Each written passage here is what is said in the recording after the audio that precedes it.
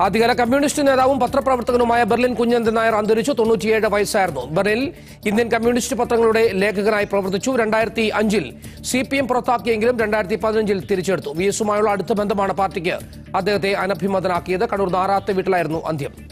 വിശദാംശങ്ങൾ അനന്തു രാമചന്ദ്രൻ നൽകും. അനന്തു തൊണ്ണൂറ്റിയേഴാമത്തെ വയസ്സിലും വാർദ്ധക്യ സഹജമായ അസുഖങ്ങൾക്കായി വിശ്രമത്തിലാണെങ്കിലും രാഷ്ട്രീയ വിഷയങ്ങളിൽ നിലപാട് അദ്ദേഹം ഉറച്ചു പറഞ്ഞിരുന്നു. വി എസുമായുള്ള അടുപ്പം അദ്ദേഹത്തെ അനുഭവമെന്നാക്കിയെങ്കിലും അവസാന സമയങ്ങളിൽ പാർട്ടിയിലേക്ക് മടങ്ങി വരാനുള്ള അദ്ദേഹത്തിന്റെ ആഗ്രഹം പാർട്ടി ചെവിക്കൊള്ളുകയും ചെയ്തു. എങ്ങനെയാണ് ബെർലിൻ കുഞ്ഞന്തൻ നായരുടെ മരണത്തെയും വിയോഗത്തെയും പാർട്ടി അനുസ്മരിക്കുന്നത്? അഭിലാഷ് അത്തരത്തിൽ തന്നെയാണ് കാര്യങ്ങൾ. അതായത് പാർട്ടിക്ക് അനവധനായി തോന്നിയ ഒരു ഘട്ടത്തിൽ രണ്ടായിരത്തി അഞ്ചിൽ അദ്ദേഹത്തിനെ പുറത്താക്കുന്നു. പിന്നീട് അദ്ദേഹം തന്നെ ആ ഒരു തീരുമാനം ശരിയായിരുന്നില്ല എന്ന് പറയുന്നു. പിന്നെ രണ്ടായിരത്തി പതിനഞ്ചിൽ അദ്ദേഹം പാർട്ടിയിലേക്ക് വരുന്നു. അത് തന്നെയാണ് അതായത് രാഷ്ട്രീയപരമായി തന്നെ കേരളത്തെ സംബന്ധിച്ചിടത്തോളം സി പി എമ്മിന് അദ്ദേഹത്തെ കണക്ട് ചെയ്യുമ്പോൾ നമുക്ക് പറയാൻ കഴിയുന്ന പ്രധാനപ്പെട്ട കാര്യം. ജർമ്മനിയിൽ മുപ്പത് വർഷം പത്രപ്രവർത്തകരായിരുന്ന അദ്ദേഹം തിരുവനന്തപുരത്ത് എ കെ ജി സെന്ററിലും ദീർഘകാലം പ്രവർത്തിച്ചു അതായത് രാഷ്ട്രീയ ഒരു കാലം അങ്ങനെയായിരുന്നു.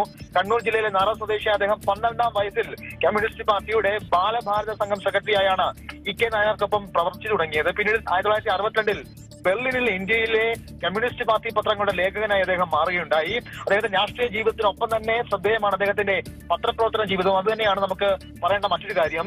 ഇ എം എസിനും എ കെ ജിക്കും ഒപ്പം പ്രവർത്തിച്ചു. ഒപ്പം പാർട്ടി പിറന്നപ്പോൾ സി പി എമ്മിനൊപ്പം അദ്ദേഹം ചേർന്നു. ആയിരത്തി തൊള്ളായിരത്തി അറുപത്തി മുതൽ എൺപത്തിരണ്ട് വരെ ബ്ലീസിന്റെ യൂറോപ്യൻ ലേഖകനായി അദ്ദേഹം മാറി. സിയെ കുറിച്ച് ഡെവിൾ ഇൻ ഹിസ് ഡാറ്റ് എന്ന അന്വേഷണാത്മകമായ ലേഖനങ്ങൾ അദ്ദേഹത്തിന്റെ പുസ്തകമായി വന്നു. ഒന്നാം പാർട്ടി കോൺഗ്രസിൽ പങ്കെടുത്ത പ്രവർത്തകനാണ് കുഞ്ഞനാരൻ എന്നതാണ് ഏറ്റവും പ്രധാനപ്പെട്ട മറ്റൊരു പ്രധാനപ്പെട്ട കാര്യം. അതായത് സി പി എമ്മിന്റെ പാർട്ടി കോൺഗ്രസ് നമുക്കറിയാം കഴിഞ്ഞതേ ഉള്ളൂ. ഏറ്റവും അവസാനത്തേത് കണ്ണൂരിൽ. അപ്പോൾ ഈ പാർട്ടി കോൺഗ്രസിന്റെ പാർട്ടി കോൺഗ്രസ് ചരിത്രത്തിന്റെ ആദ്യത്തെ പാർട്ടി കോൺഗ്രസ് ബോംബെ വെച്ച് നടന്ന പാർട്ടി കോൺഗ്രസിൽ ബാലസംഘത്തിനെ പ്രതിനിധീകരിച്ചുകൊണ്ടാണ് അദ്ദേഹം എത്തിയതെന്നാണ് അവിടെ പോയത്. അദ്ദേഹത്തിന്റെ പ്രവർത്തനം അങ്ങനെയായിരുന്നു. ഈ പാർട്ടി കോൺഗ്രസ് സമയത്ത് അദ്ദേഹത്തിന്റെ വീട്ടിൽ നമ്മൾ അദ്ദേഹത്തിനെ കാണുമ്പോഴും ആ ഓർമ്മകളൊക്കെ തന്നെ അദ്ദേഹം പറഞ്ഞിരുന്നു. ഒപ്പം തന്നെ സൂചിപ്പിച്ച പോലെ തന്നെ സി പി എമ്മിലെ പല നയങ്ങളെയും അദ്ദേഹത്തിന് എതിർപ്പുണ്ടായിരുന്നു. അതായത് പാർട്ടിയിൽ ഒരു വിഭാഗം നേതാക്കൾ പല കാര്യങ്ങൾ പറയുമ്പോൾ അതിനോട് അദ്ദേഹത്തിന് യോജിപ്പുണ്ടായിരുന്നില്ല വിഭാഗത്തിന്റെ ഭാഗമായി അദ്ദേഹം പി എഫിനൊപ്പം ഉറച്ചു നിന്നു അദ്ദേഹത്തിന് പിണറായിയുടെ അതിർത്തനായി മാറുന്ന സാഹചര്യം ആ ഒരു നിലപാട് ശരിയായിരുന്നില്ല എന്ന് തിരുത്തി പറയുന്ന സാഹചര്യവും നമ്മൾ കണ്ടു. ദീർഘകാലം അദ്ദേഹം ജർമ്മനിയിൽ പ്രവർത്തിച്ചു. അതുകൊണ്ട് തന്നെ അദ്ദേഹത്തിന് സി പി എമ്മിന്റെ പ്രാദേശിക ഘട്ടത്തിൽ സജീവമാകാൻ സമയം താമസിച്ചു.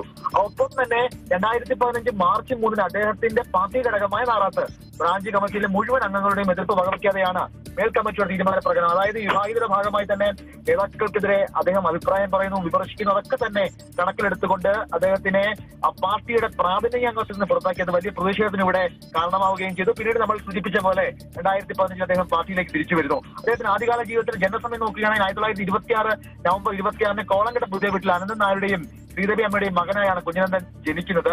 പിന്നീട് എട്ടാം ക്ലാസ്സിൽ അദ്ദേഹം പഠിച്ചത് കണ്ണാടിപ്പറമ്പ് ഹയർ സെക്കൻഡറി എലിമെന്ററി സ്കൂളിലാണ് ഒപ്പം തന്നെ രാഷ്ട്രീയ ജീവിതം സൂചിപ്പിച്ച പോലെ തന്നെ പതിനേഴ് വയസ്സുള്ള കുഞ്ഞനന്ദൻ പാർട്ടി കോൺഗ്രസിന്റെ പ്രതിനിധിയായി ബോംബെയിൽ പോകുന്നു.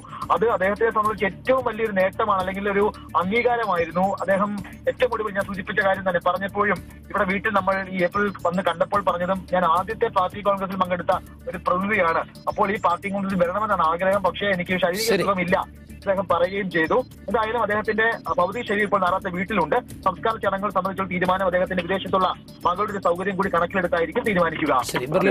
നായർ അന്തരിച്ചു. അനന്തപുരാമേന്ദ്രൻ